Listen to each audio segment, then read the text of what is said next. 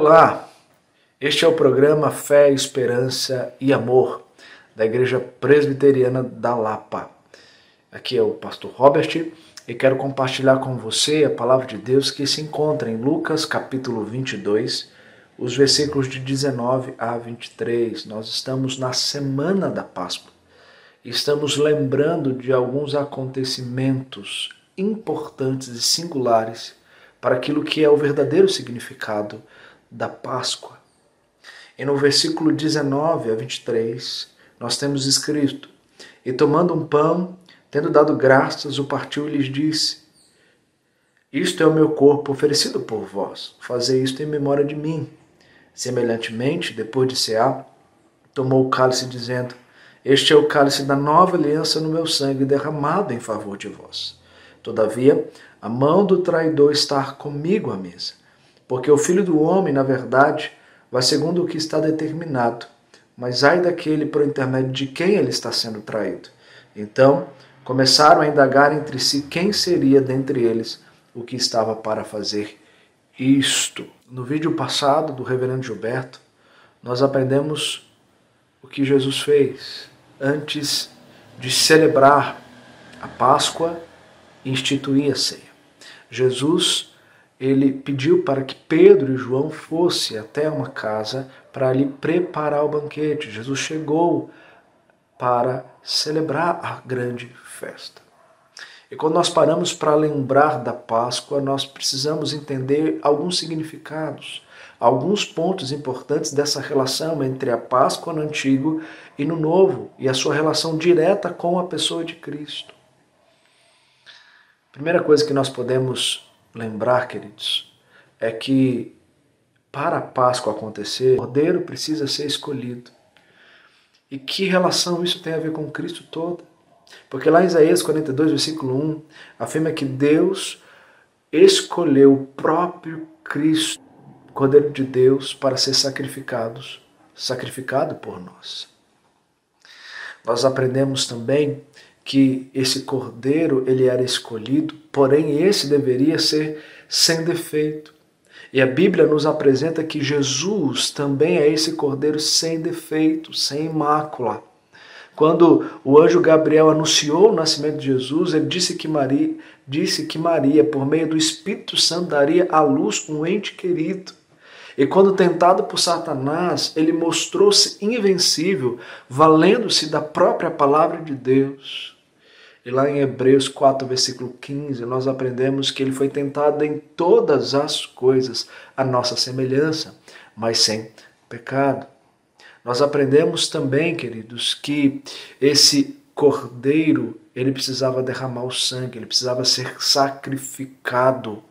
E quando Jesus diz que esta este cálice é a nova aliança no meu sangue derramado em favor de vós, ele está apresentando que agora o seu próprio sangue seria derramado em favor do seu povo. Portanto, ao instituir a ceia, nós observamos que o sangue do Cordeiro Pascual sobre as portas ou derramado na base do altar são identificados com o sangue de Cristo derramado na cruz pelos nossos pecados assim como o sangue nos umbrais das portas afastaria a ira de Deus sobre o povo do Egito, também pelo sangue de Cristo derramado na cruz, tem uma remissão dos nossos pecados, ou seja, Jesus é o único que nos livra da ira vindoura. Aqueles que são cobertos pelo sangue de Cristo têm seus pecados perdoados e serão apontados como justos no dia do juízo de Deus. Por isso que a Páscoa foi instituída para nos apresentar Cristo e indicar a perfeita obra redentora, ou seja, o que era essencial na primeira não se perdeu na segunda, pois ambas apontam para Cristo. E a ceia é para confirmar essa nova aliança que agora temos com Cristo ao derramar o seu próprio sangue, o sangue suficiente para nos lavar e nos perdoar e nos declarar como justos para a santificação do seu povo. Mas a ceia do Senhor nos ensina mais, queridos. Pois a ceia do Senhor aponta para algumas características próprias de Cristo, mas que foram comunicadas a nós e que nós precisamos excitá-las, como, por exemplo, o amor. os versículos 22 e 23, Jesus mostra o seu amor, pois ele institui a Páscoa, mesmo sabendo que diante daquela mesa estaria o traidor. Judas estava com eles, ceando com eles, mas Deus, mas Jesus mostrou o seu amor, fazendo ali aquela celebração, instituindo, instituindo ali a ceia do Senhor. Mas não apresenta só amor, que levou Cristo a morrer na cruz, mas apresenta alegria. Jesus não foi para a cruz murmurando, ele vai como ovelha muda e ele vai na alegria de nos salvar. Portanto, a ceia não é um momento de luto, mas de alegria pela obra redentora de Cristo em nos comprar para Deus, pagando com o seu próprio sangue. Jesus instituiu esse sacramento. Sabe por quê? Porque a igreja precisa relembrar desse sacrifício, da sua morte na cruz, mas também ela precisa olhar para o futuro, precisa olhar para Cristo. E se você abrir a sua Bíblia em 1 Coríntios capítulo 11, versículos 23 e 29, em que Paulo relembra ali a instituição da ceia, ele coloca mais duas virtudes essenciais. A esperança, no versículo 26, ao celebrarmos até que ele venha, nós estamos depositando a nossa confiança e esperança na certeza que Cristo voltará. A Páscoa, portanto, foi para a libertação da ira de Deus no Egito. A morte de Cristo nos livra também da ira de Deus e nos habilita para a vida eterna.